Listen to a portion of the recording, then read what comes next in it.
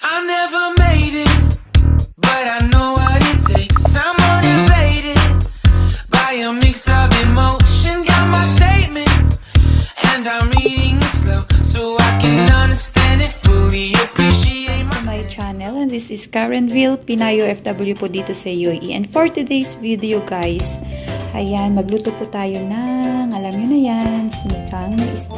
So, nag-prepare na po ako ng pagka, ng aking lulutuin. Ito ay kamatis, bawang at ginger. Ito po ay chai. Ito po ay, so very cute.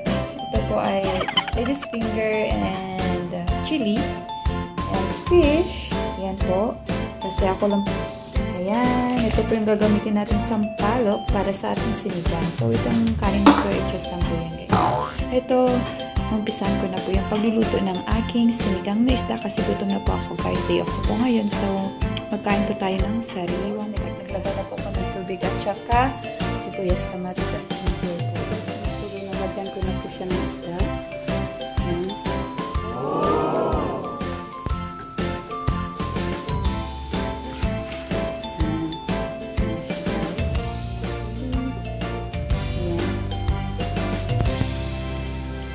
Kumukulo na siya guys. Na kran.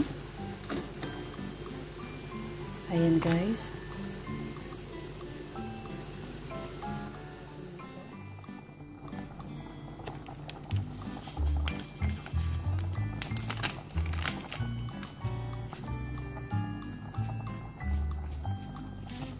Sinigang mix. Sampalo. Ayan.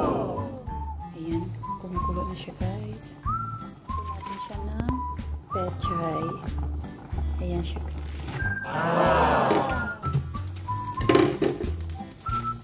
So, nagluluto ako. Nagluluto na din po ako ng kanin. Ayan po.